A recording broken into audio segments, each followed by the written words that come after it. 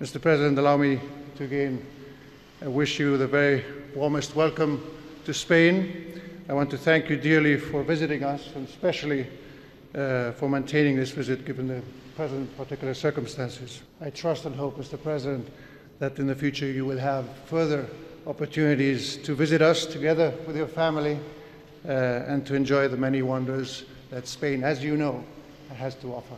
Welcome. Thank you. Well, good morning. and muchas gracias, uh, Your Majesty, to the people of Spain and the Spanish government. Thank you so much for the extraordinary hospitality that uh, you are offering me uh, and my delegation.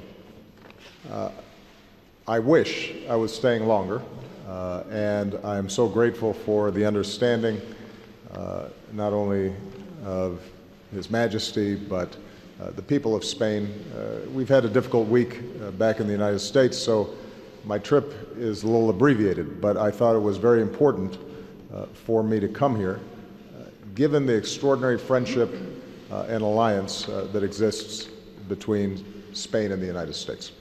Although this is my first visit to Spain as the President of the United States, it is not my first visit to Spain or to Madrid.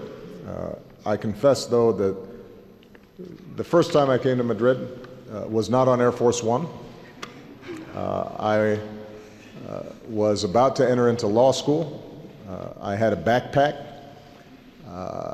I traveled by foot most of the time and ate very cheaply wherever I went. Never would I have imagined that uh, I would uh, have a reception uh, with His Majesty, uh, but uh, it is an extraordinary privilege uh, to be able to be here.